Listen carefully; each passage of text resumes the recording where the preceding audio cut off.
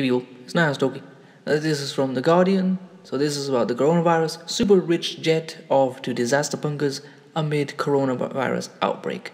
Like hundreds of thousands of people across the world, the super rich are preparing to self-isolate in the face of an escalation in the coronavirus. But their plans extend far beyond stocking up on hand sanitizer and TV box sets.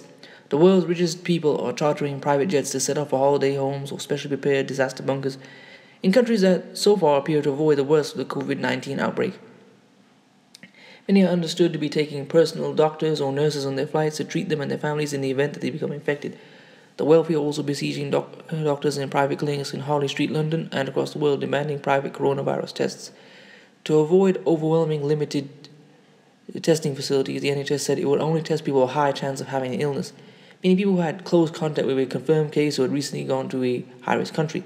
Mark Ali, chief executive and medical director of the private Harley Street Clinic, said this has led to a huge demand from very wealthy people asking if they can pay for private testing.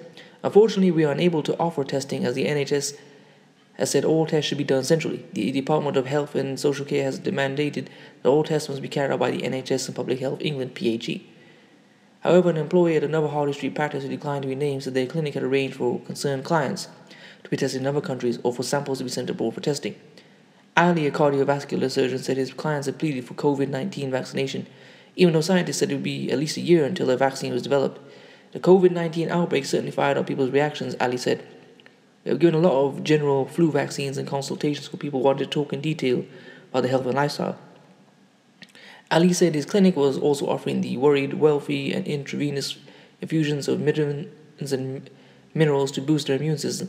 We know that 90% of adults have a deficiency in vitamins. What better to improve that than an IV immune boost?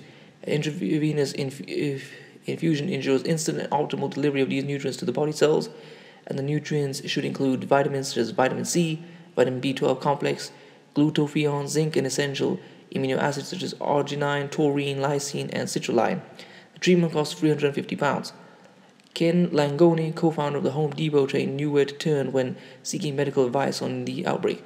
The 84-year-old billionaire an executive and top scientist at NYU Langone Health, the New York hospital named after him, which he chairs. What I've been told by people who are smaller than me is in diseases, as of right now, it's a bad flu, he told Bloomberg. Adam Twidell, chief executive of the private uh, jet booking service Private Fly, said his firm was continuing to see a jump in bookings as wealthy people arrange evacuation flights home from high risk countries. It's many are from groups which include elderly passengers or those with health conditions that make them particularly concerned about exposure to crowds on airline flights. We've just flown back to a group back to London from, from south of France with an immunocompromised passenger on board. Twidell said other rich clients were arranging flights out of the UK and other European countries in advance of the possible introduction of nationwide quarantines following Italy's lead. Quintessentially, the concierge company for millionaires said members who could not quite afford private jets had requested access to private airport lounges to avoid the risk of interacting with large numbers of the traveling public. Members who are traveling commercially are choosing to book elite services at airports, not your typical first class lounge, a spokeswoman said. For example, private terminals where guests are greeted and given their own suite. Checking in, customs and security are done privately, and guests are taken to the doors of the aircraft.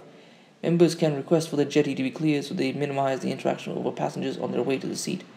Quintessentially, said one of its members, had converted his home into a military style bunker and refusing any visitors unless they provide detailed record of their movement and contacts. Robert Vicino, founder and chief executive of Vivos Group, a California-based company constructing underground shelters designed to withstand a range of natural disasters and catastrophes, said his firm has seen a surge in inquiries and sales since the crisis took hold.